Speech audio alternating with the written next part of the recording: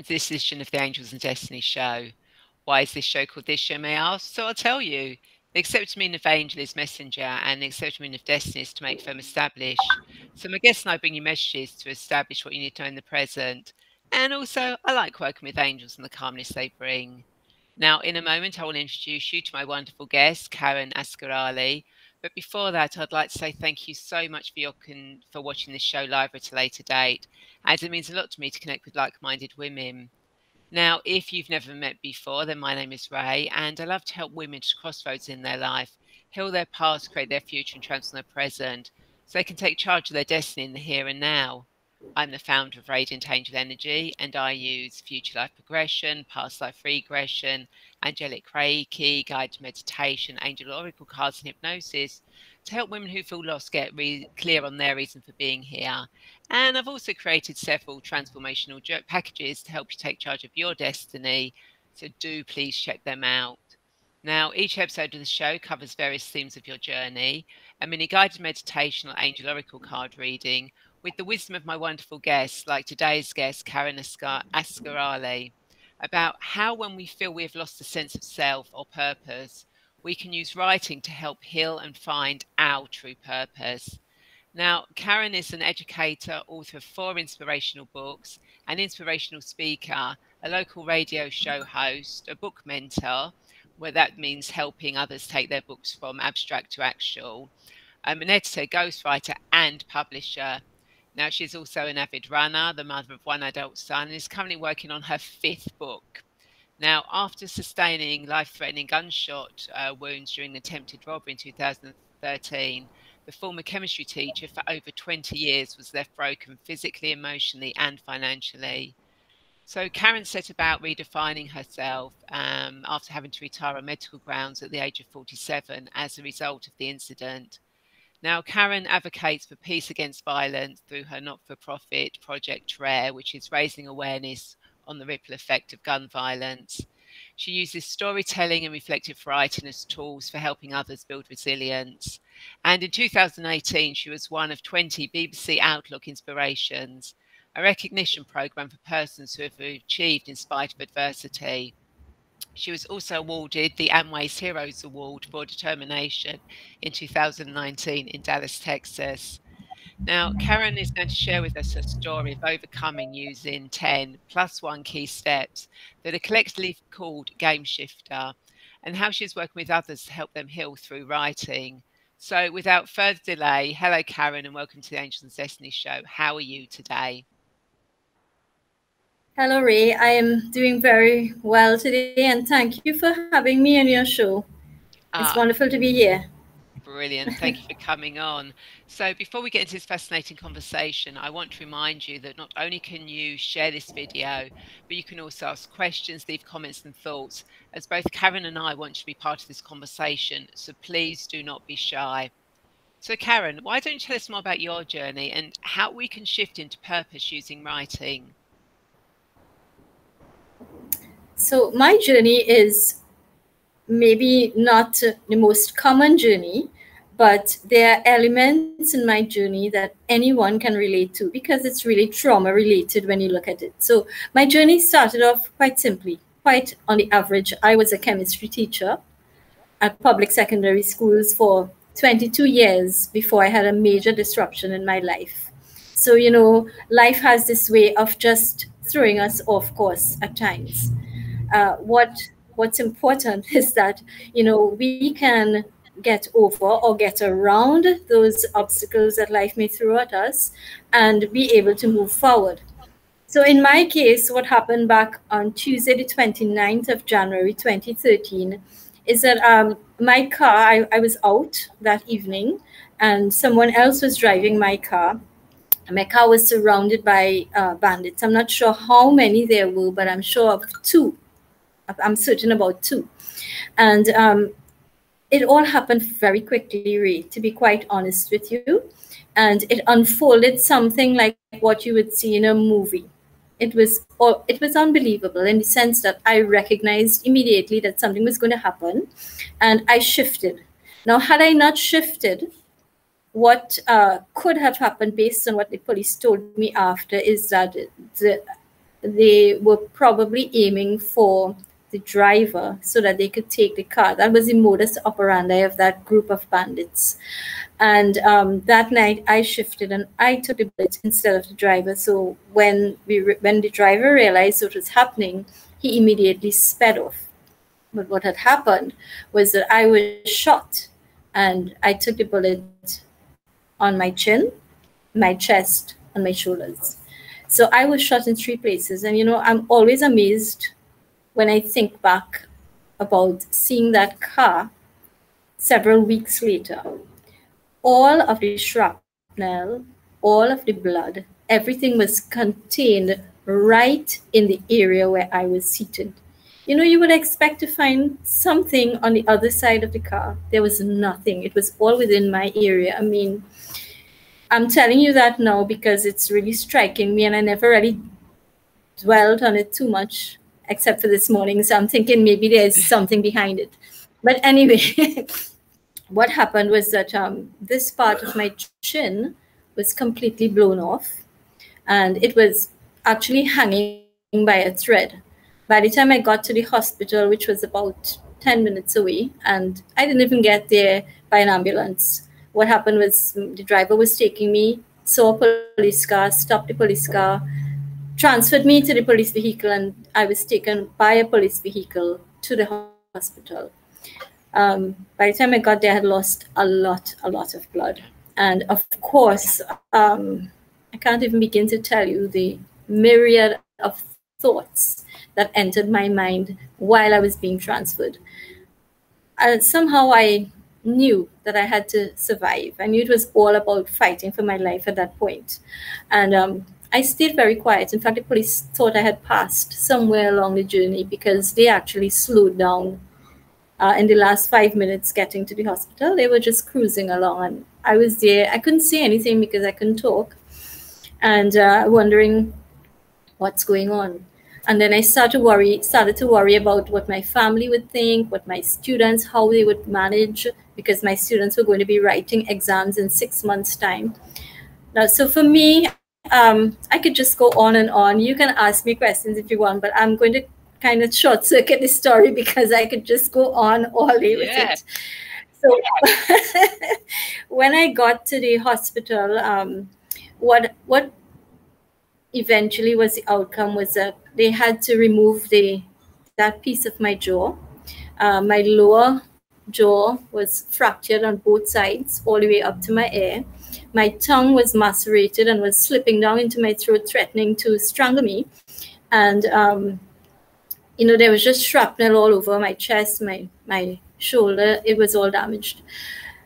Fortunately, they were able to perform whatever emergency emergency surgery they had to do, remove all shrapnel as much as they could.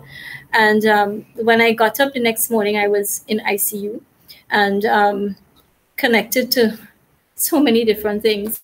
And they even had to create a, a, a, an extra space right here to put in what's called a tracheostomy to ensure that the tongue didn't get in the way of my healing and that I could breathe properly. Eventually, uh, what happened was that whereas I was given an entire year to stay at the hospital and six months in ICU, it turned out that I just stayed three days in ICU and one month at the hospital because my healing was that quick. Yeah, it was amazing. And uh, yeah, I don't know what, I just give thanks and praise. And um, for, for the first three weeks, I was unable to speak completely, couldn't talk, no voice at all. Uh, it wasn't just fear, it was a physical thing. I just could not speak. And, um, you know, it was, that was really a humbling experience because there was a the hospital, unable to say anything to anybody, with all these tubes hanging all over and all these people visiting and seeing me looking like this. And, you know, I, wasn't really vain before, but you know, you you'd like to you like to fix yeah. yourself before you and I had that encounter the first time we met. You know, you like to fix yourself properly before you yeah. meet people. And here I was just this is how they're seeing me. I, I had no idea what, what they were seeing. So, you know, it was humbling on many levels. That's just one of the levels. But it was also humbling because I couldn't eat. There was nothing I could eat because remember there was this hole here. So what I had yeah. was a nasogastric tube that went straight down to the stomach. And um, that was my sustenance for that month. And after that, um, my jaws had to be wired shut. Now, that was something that should have been almost right away. Didn't happen. So my jaws started collapsing inwardly while it was healing. So when they eventually rewired, when they eventually wired the jaw, they had to break it once again before rewiring it. So the jaw was broken a second time and then rewired. And um, eventually I was told I had to do reconstructive and plastic surgery. I'll just tell you very briefly that I had to break the jaw three times oh, and no. rewire before I actually yeah, before I actually underwent reconstructive and plastic surgery. And of course, all of that took about nine months. And for those nine months, I had no solid food. I lived on liquids, so I lost a lot of weight which some people might be happy for, but you know, um, the way that it happened is not a nice way. no. And um, yeah, it's not nice. I wouldn't wish it on anybody, not even my worst enemy. And um, yeah, so I was a shadow of myself. Now, for those first nine months, what I did was I focused on the physical healing. So I focused on organizing things for surgery, getting the money together because I lost a lot in the process. Um, the surgery, while the treatment at hospital was free because we have free public uh, healthcare system here, um, the surgery had to be done privately because our hospitals weren't equipped to do part of the surgery. So it meant that I had to pay for that. So all of my life savings went into surgery. I had to sell my car as well to ensure I had sufficient funds. So I had I suffered tremendous losses. And as a teacher in a public secondary school, when you stay away for a certain length of time, even if you submit medicals, what happens is that you, for the first three months, you will receive your full salary. For the next three months, you'll get half your salary. And after that, you get nothing. And once you stay away for a year, then they call you in and assess you for medical uh, on medical grounds. So I went through all of that. I eventually had to retire from teaching. Now, bear in mind, I had been a teacher for 21 or 22 years at that point. So I was 47 years old. I um, had been a teacher all, all my adult life. And now here I was left without my savings, with a broken, damaged face, unable to speak properly because I got a lisp out of it, um, unable to do so many things. And now I wasn't able to teach. Without friends, I lost friends along the way. Because let's face it, um, I, I don't I don't hold it against them because everybody has issues in their lives. And I mean, yes, they were there with me up to a point, but then life has to go on. Yeah. So um, I was left in a pretty depleted state in all senses. So um, at that point, nine months after the incident, that was when I was actually now literally just sitting back and trying to heal. And then that's when all these thoughts hit me, and I realized what had really happened and the impact it was going to have on my life. And I started to slip into depression uh, I didn't realize at first what was happening. So, you know, the usual things uh, withdrawal, sleeping too much, not sleeping, nightmares, flashbacks, all those sorts of things. And um, one day I realized it was getting out of hand because I was in the car with someone, with my mom, and um, I suddenly wanted to scream out aloud. I didn't do it, but I wanted to. And it was at that point I realized, okay, something is going on. I need some professional help. And you know, I, I want to stress that this is one of the things um, that's really important because in addition for to advocating for peace and against violence, I also advocate for mental health issues. And you know, I just want to stress that it's very important that we do seek professional help. You don't always need it, but there are times when we do need it and we need to recognize that and there's nothing wrong with doing it it doesn't make you weaker in fact i think it makes you a stronger person to recognize that you need help and to reach out for it so that, that point was when i realized you know it was going in the wrong direction. I sought help. I got help. Yeah, Rae, I got help um, both medically and in terms of counseling. Yeah, and uh, those two things helped. And then I got up one morning, uh, suddenly inspired. That's the only word I could use, inspired, because I recognized at several different levels that you know things couldn't continue this way, and I needed to get up and get. But I also had this story inside of me that I needed to get out. And um, where that came from was when I couldn't speak, I used to write. So I used to be writing to everybody at hospital to communicate. And then when when I am a praying person, so um, there were times I wanted to pray out aloud and I couldn't do it, so I would write it down.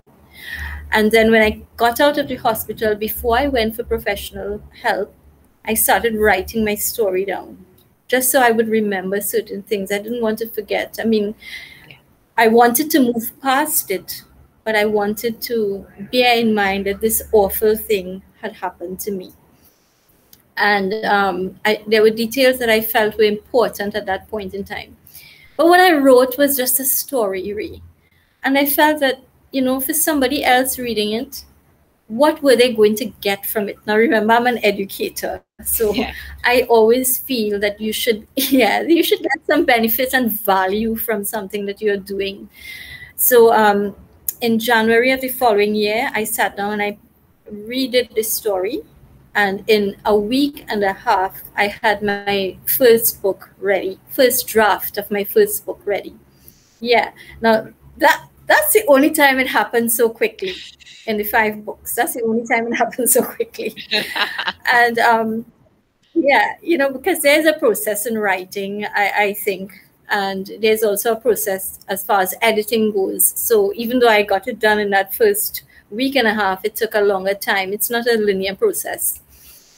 Um, so I redid the book, and this time I did it. I told the story in a different way. So it wasn't told chronologically the way things unfolded, but it was told in a way that promoted lessons from the book.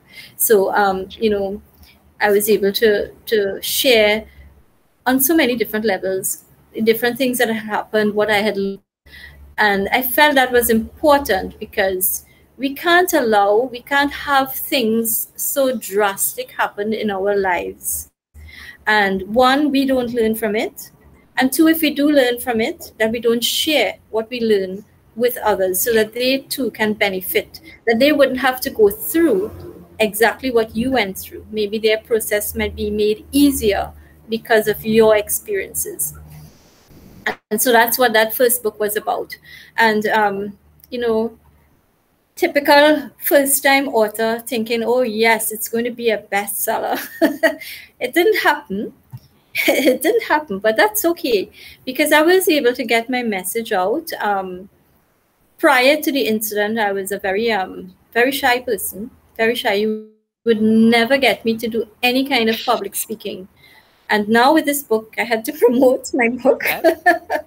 I don't know where it came from, but I was able to get on a lot of um, almost every local television station. And um, every local newspaper and several of our radio stations as well. And um, I would say that, you know, we always hear about practice makes perfect, and it's true. I'm not perfect. I didn't get perfect. I'm still way far, way away from um, being perfect, but I have come a long way.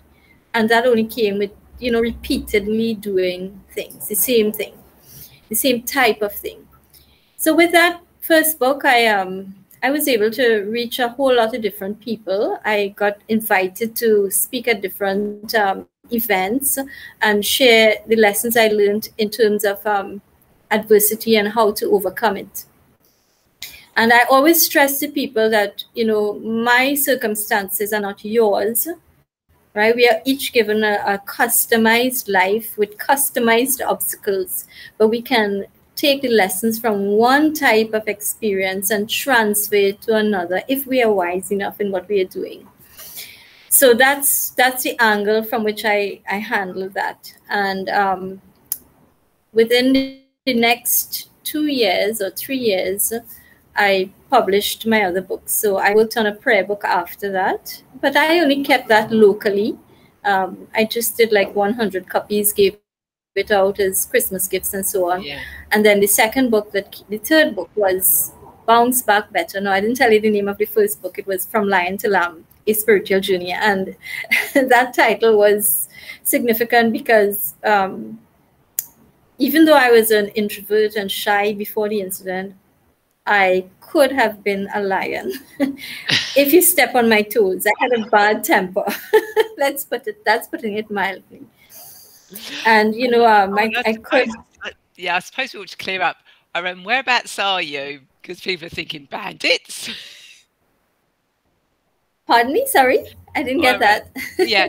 So, so, so um, uh, to let our viewers know where whereabouts you're from, what country you're actually all this happened oh, in? I am from, you know, I, I thought about it when we did the introduction and then it slipped my mind. So I'm I'm in the West Indies. I'm from Trinidad, Trinidad and Tobago, the Republic of Trinidad and Tobago.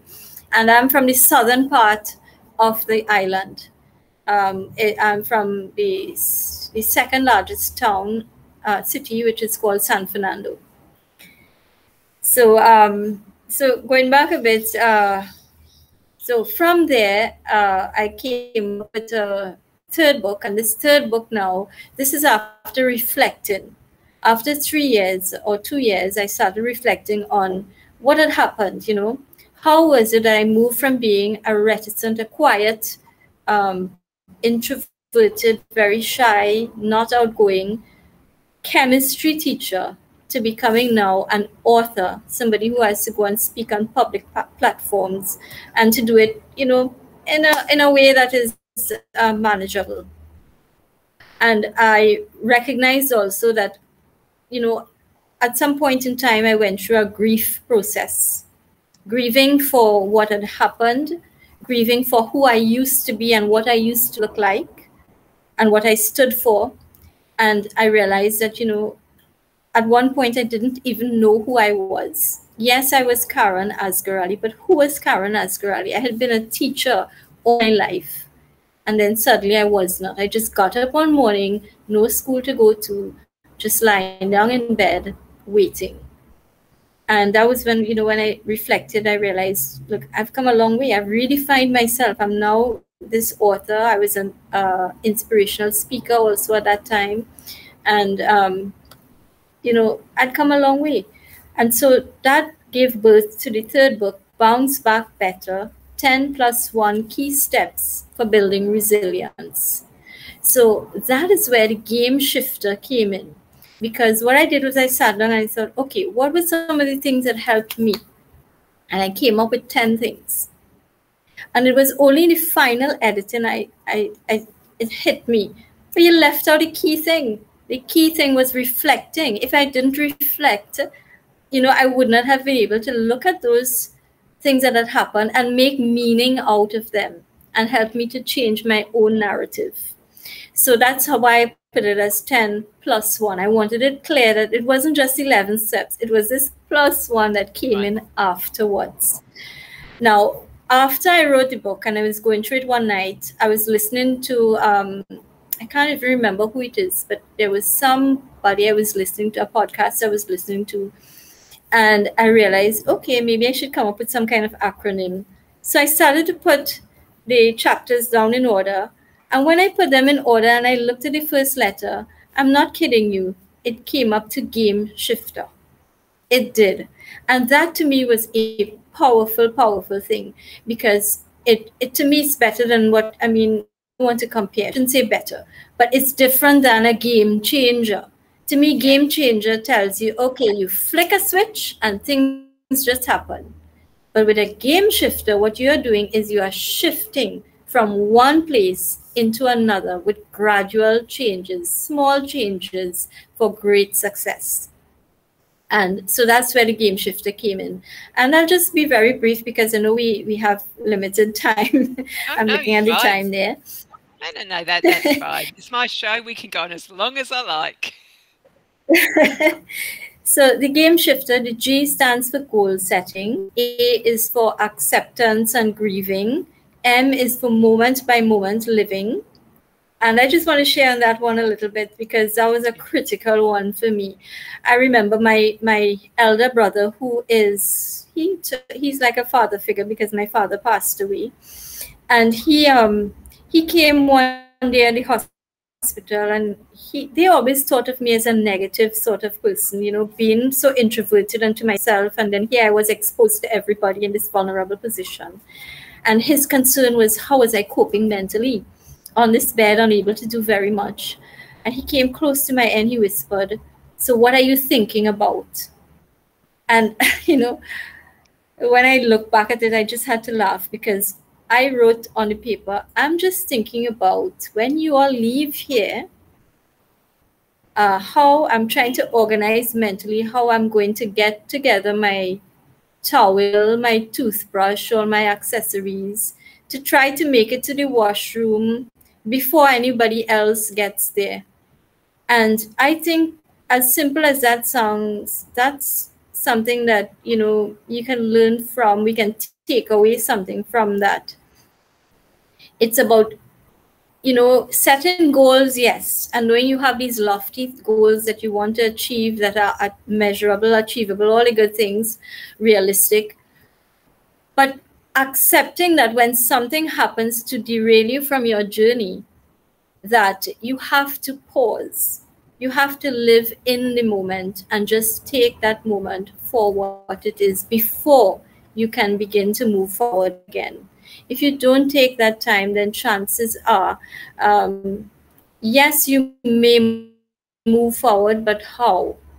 You know, you want to move forward positively in a different way. You want what had happened to have meaning and value. And you know, I'll say that a few times because to me that's an important thing.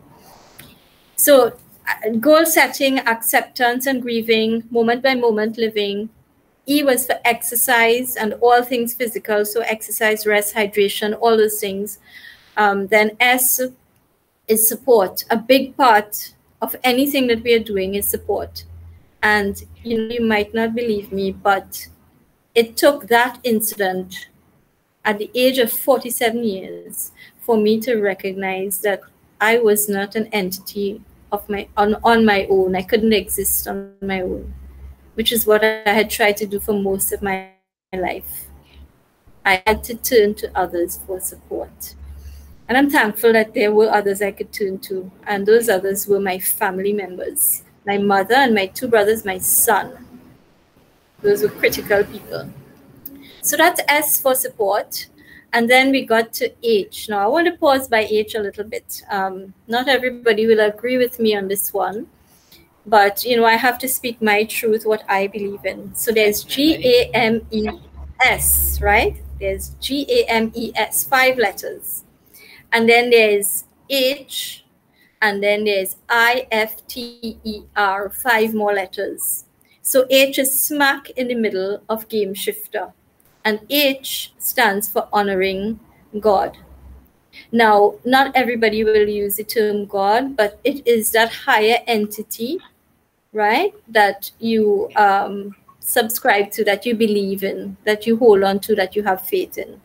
Uh, for me, I, I refer as God. And yeah. I found it was surreal that smack in the middle of everything was each. So, you know, one of my principles now, um, it was before, but I didn't take it seriously, is that whatever we are doing, that should always be at the center of what we are doing. So that was H. And then I went to I, which is I after you. You know, we always say I before you, but it's I after you, which refers to humility. And then there's F for forgiveness. There is T for training the brain, lifelong learning. E for embracing giving or philanthropy. And then there is R. And R, of course, is for reflecting. So we must make that time for reflecting. So that's what the game shifter is about. And um, that's one of the things that I share with people, right? And in how you can shift from where you are to where you want to be and how you can begin to recognize what your purpose is.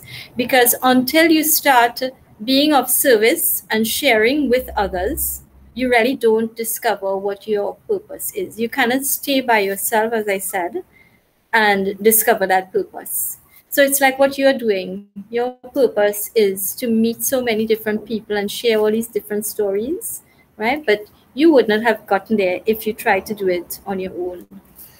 Definitely. So um, definitely not. Yeah, and you know um, so that's that book and then from there my next step was you know i over the years i just kept writing. I kept writing for different reasons. There were many things i write i wrote just for myself. I didn't always write to share. And um, the writing became very important. And when i recognized i realized that there was an actual program called writing to heal. Uh, unfortunately, because of my financial circumstances at that time, because of the incident, I was unable to access the actual training. But what I did was I bought all the books that I could find on writing to heal. And I read and I read and I read and I taught myself and I kept practicing and using it. And in 2018, 2019, I um, started a new book, Hot Cocoa on a Rainy Day 10 plus 1 Stories to Warm Your Heart. Yeah, it's a beautiful book. It really is to warm your heart.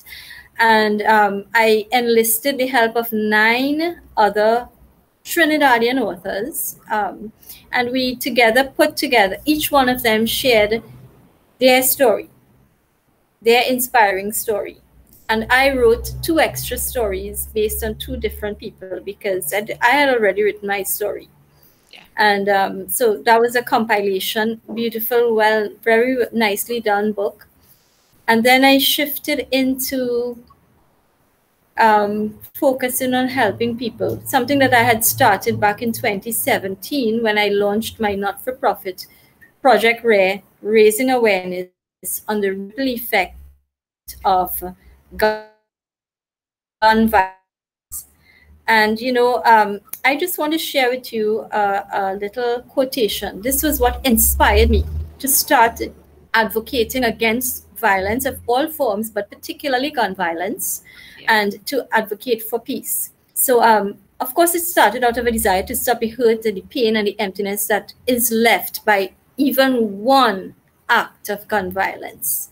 And that inspiration, it is a quotation by a former by a victim, uh, not me, somebody else. I don't even know who it is, but it goes like this: With a single bullet, lives change, people change, financial situations change, social circles change, and there's this whole middle place that a lot of people are left in and that middle place can be filled with rage, confusion, depression, anxiety, despair, and a need for revenge. So, you know, as a victim of gun violence, I am intimately familiar with that middle place where you feel anger, you feel the need for revenge, you feel all those negative feelings. But because of um, my belief in something greater than myself, I drew my strength and my peace from that. And it was what gave me the courage to forgive the people who had done this to me. And that forgiveness came even while I was at hospital. And I believe that's a great part. It played a massive part in being able to heal. I think as long as you hold on to negativity, you hold on to um, things that prevent you from healing so you know that is what gave me my my my faith my belief is what gave me the perseverance to go through that difficult and painful incident but to emerge with hope and not just with hope for myself but hope for others so my whole focus now has been transforming hurt into hope so what i did earlier what i had done a couple of years ago is I started the Writing to Heal program online. And, you know, um, I advertised it. At first, I was doing it and charging a small fee. And I'll tell you something, Rae. People needed it, but people weren't willing to pay for it. And I just dis- discontinued it for a while. And earlier this year, as a result of all the things that have been happening with the pandemic, and here in Trinidad, we have been in lockdown for a long time. I mean, it's quarantine, lockdown. It's it has been difficult for us, extremely difficult. And um, I saw it with young students because I still do teach students just privately now. I don't do it in public schools and very small classes online now. And um, I decided I was going to offer this writing to heal to people for free. So what it meant, it's a six week program. So it's one hour every Saturday for six weeks. Um, I didn't see it as me losing anything. I saw it as me being able to help people. So even though I was doing it without charging, you know, there was so much benefit to be gained from it. And um, since I started that earlier this year, I've been doing it back to back. Every six weeks, I start a new program. And the beauty in it is that um, I've helped people, and I know I have, not because I'm vain or feel that I could do so much, but because they, of the feedback that I receive. And there are people who want to keep joining, they want to come back. So they've done it once. I mean, it's pretty much the same thing we do, but they want to come back still. And um, I, am so happy that in the last, this current cycle, I have two gentlemen you know, initially it was just women joining, and I, I yeah. had resigned myself to that. I said, Great, I'm focusing on women. That's my target audience. And then all of a sudden, these two gentlemen joined in, and they are benefiting, they are contributing, they are writing, and they are sharing their writings. And it's it's really a journey. And um, so they have benefited. But you know, Rae, I always say this when you help others, you help yourself and that's one of the things that helped me back in 2013. In the midst of all my troubles, what I did for that Christmas, remember it happened to me in January, but by Christmas, I um, organized to donate. By that time, I wasn't even getting my salary, but I organized to donate three sets of hampers to needy uh, families. I didn't want to go to them. I didn't want them to know who I was. I didn't yeah. want to know who they were. So I organized it. I passed it on to the same, um, the psychological, the psychiatric unit attached to our public hospital, and they passed it on to the families. And I think that must have been the breaking point for me because it was within a week or two after that that I, I started writing my first book. Yeah. And when I started this Writing to Heal program, I benefited a lot in the sense that one, I believed in it, but now here people were believing not just in the program, but they were believing in the way that I was presenting the program to them. It was helping them. And so, you know, it built my confidence. And that's something that all of us need, you know, sometimes all of us need some reassurance, but some of it, some of us have too much, but but you know sometimes we need reminding that we do have something that we can offer to others. And um, I was able to, as the weeks went by, I was able to tweak the program. I keep making changes. And this last session has been so powerful. I mean, like one of the students afterwards, she had to, she felt compelled to call me, contact me outside of the class setting to discuss just what was happening. She said, Miss, you realize that we went, and they call me Miss, and these are adults. We are not a formal, but they call me Miss still. oh, bless. not that I asked them to, I asked them to say Caron, but uh, I don't know. Uh, so it, um, she was saying, Miss, we have moved to, this is one person who, who did it with me in a prior session, a prior cycle this is her second cycle and she said miss you have moved it to a different level altogether. So um, i think you all have um, o level ordinary levels and advanced level education across there right? Secondary schools. So um, yeah. she's saying to me i've moved it from the ordinary level to the advanced level. So i mean just hearing that it just gave me you know such a good feeling inside. So you know um, I want to share with your listeners that things can happen, bad things can happen.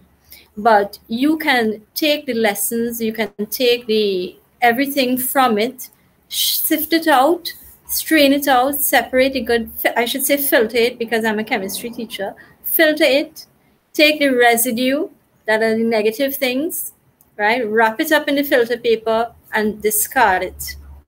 But keep the filtrate of positivity, all the good things from it, right?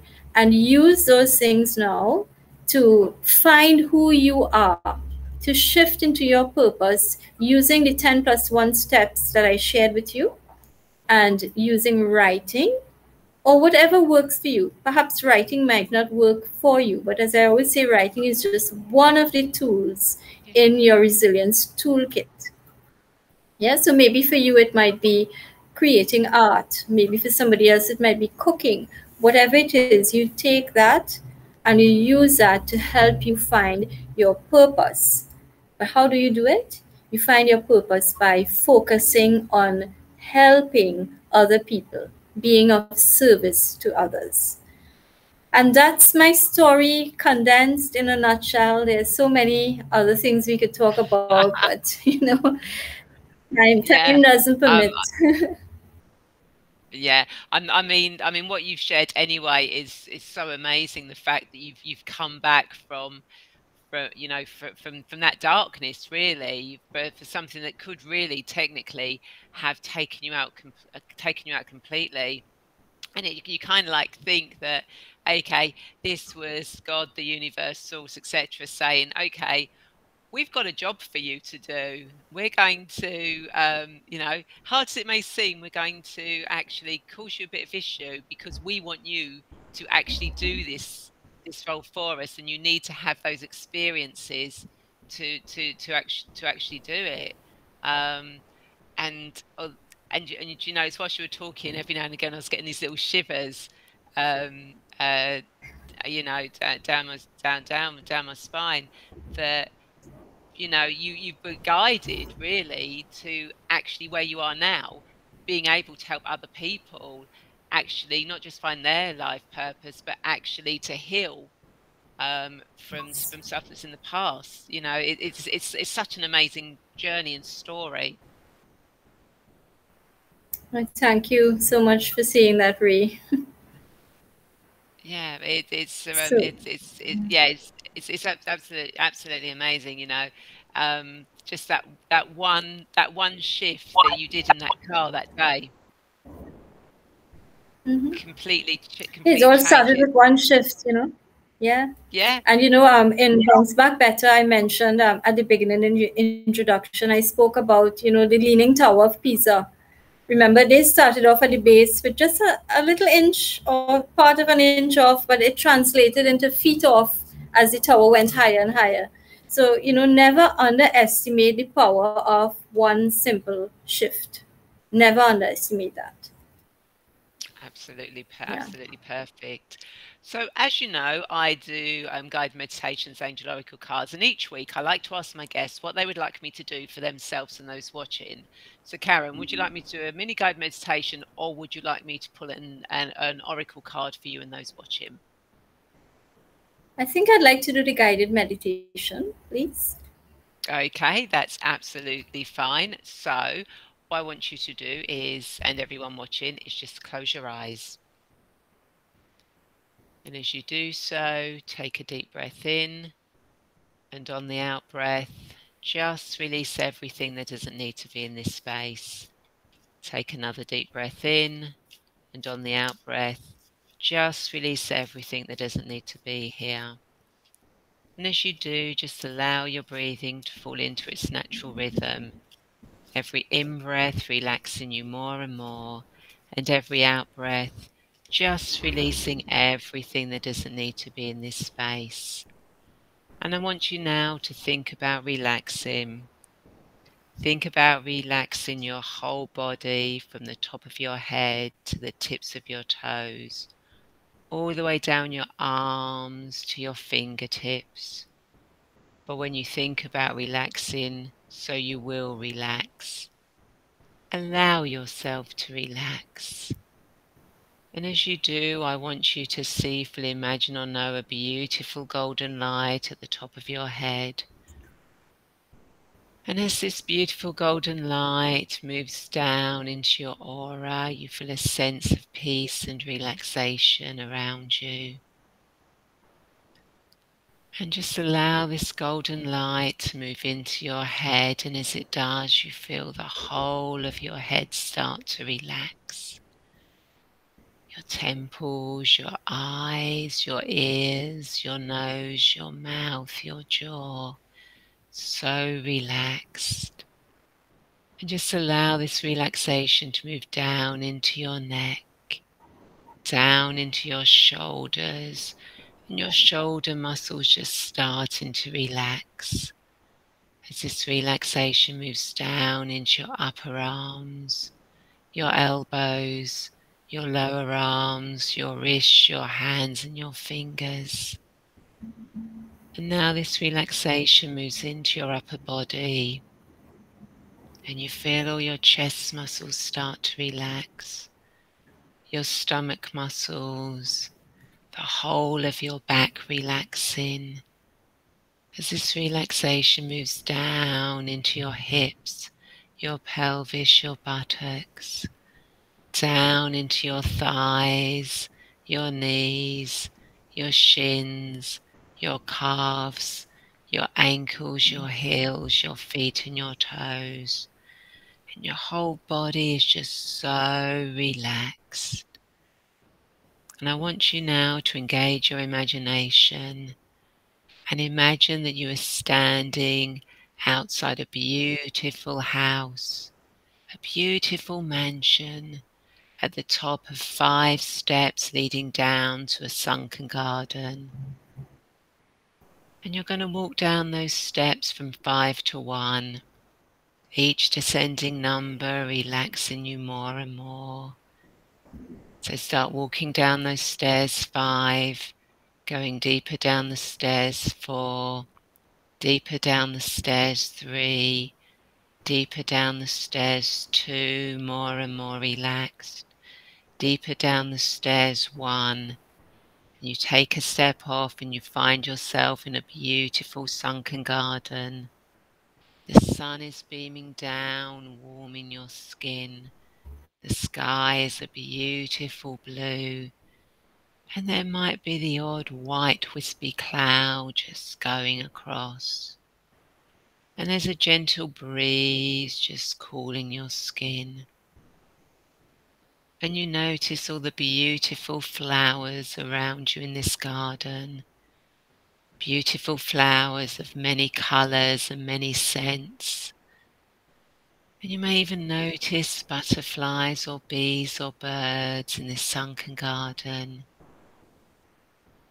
And as you walk through this garden, you notice that there's a beautiful water feature, a beautiful fountain of water just cascading up, flowing into a beautiful pool.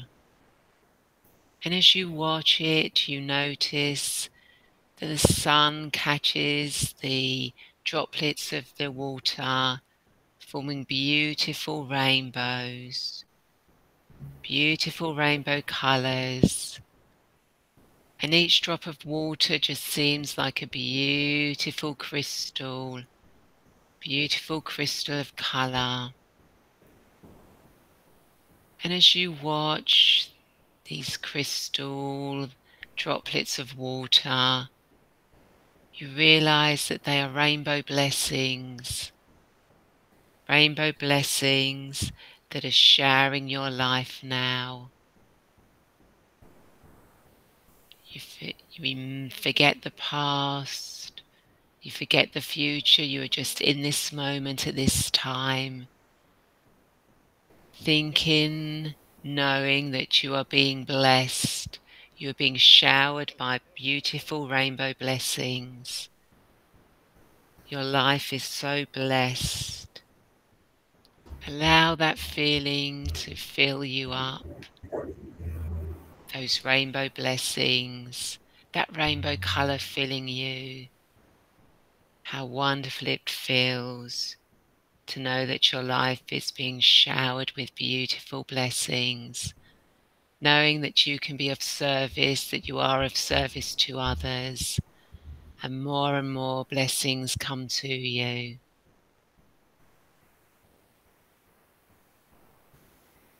And just sit with that energy for a moment, enjoying those colours, that feeling.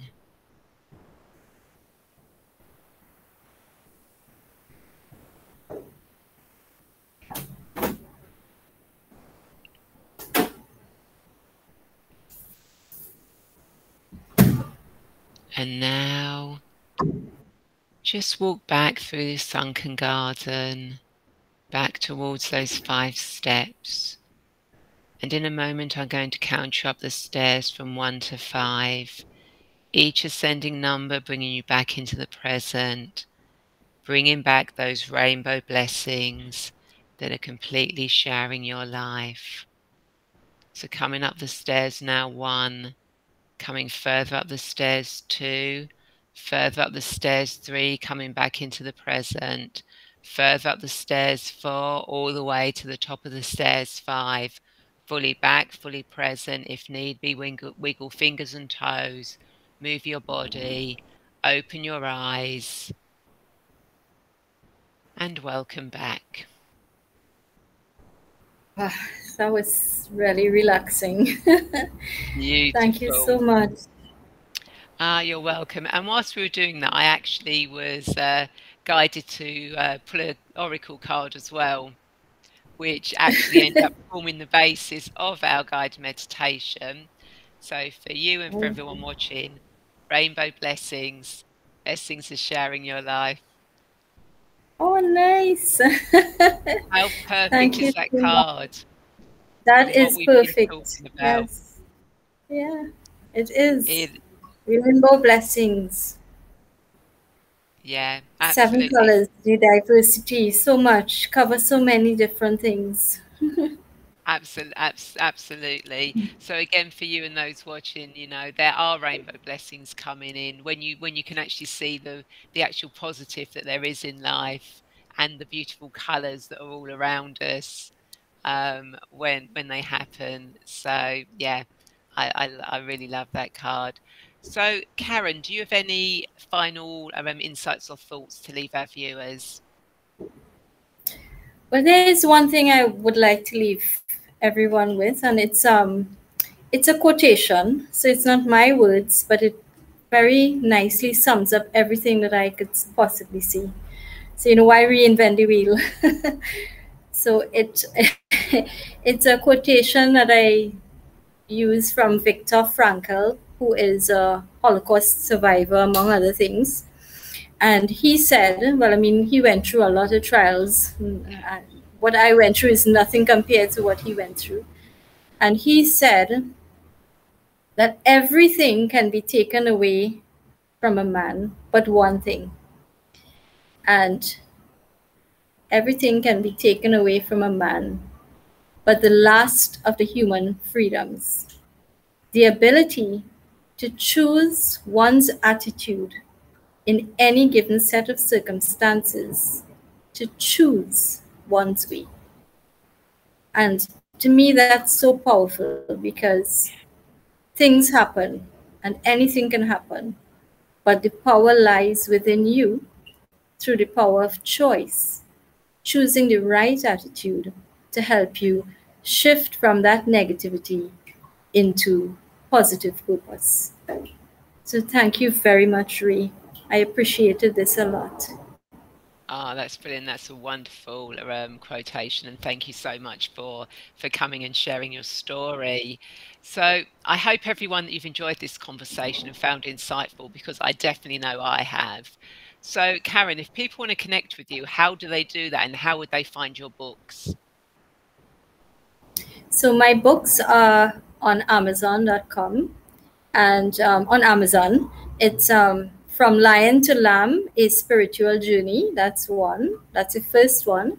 The second one is Bounce Back Better 10 plus 1 Key Steps for Building Resilience. And the third one is Hot Cocoa on a Rainy Day 10 plus 1 stories to warm your heart. Yeah, it's a the inspiration for it is wonderful. I wish I had time to share that, but it's there in the book. You'll find it. And you can also connect with me on Facebook. I have um, I have my personal page, but I also have an author page, Caron Asgarali. And I have a page for the hot cocoa on a rainy day stories. And um, believe it or not, I have an- another page that's called Project Rare. that's the raising awareness on the ripple effect, right? So yeah. I have three pages that you can meet me, uh, you can contact me, or even um, via email. I am on Instagram, but um, I don't use it as I should. I think it's something I need to look into. Yeah, I'm, I, I, spend more time on Facebook, and email is um, Caron Asgarali, my name, uh, all common letters, no spaces. Caron Asgarali, eight one zero at gmail.com. So those are the best ways to reach me. And what I'll do is I'll put um, direct links in the comments so people can just literally click on them and um, and actually actually go to them without having to type stuff in. So I'll I'll put that in the right. comments um, at, at, the end. Thank you so much. Uh, you're welcome. So, everyone, I hope you've enjoyed this. And of course, if you have reached a crossroads in your life and you need some help finding your meaning of life and get clear on your path, then I would love to be that guide for you. So, please feel free to reach out and connect with me. And we can arrange a free 20 to 30 minute video call to find out more about each other and whether or not I can actually help you on your um, journey to take charge of your destiny. And of course, please feel free to join my weekly newsletter and receive a free future life progression recording where I take you into a future lifetime so you can get guidance and clarity um, that you can use in your current life, as well as a couple of other three free gifts. So everyone, thank you again so much for watching. And I'd like to invite you to share this video as I'm sure there are more women who feel lost and want to get clear on their destiny, just like you. And of course, if you're watching this on YouTube, then please feel free to subscribe and hit the uh, bell button be notified of when the show goes live or I post new guided meditations because every little subscribe, like, um, comment helps me. So if you can help me, that would be brilliant. And I look forward to seeing you all same time, same place next week. So again, thank you, Caron. Thank you, everyone, everyone for watching, and I will see you next week. Bye. Bye.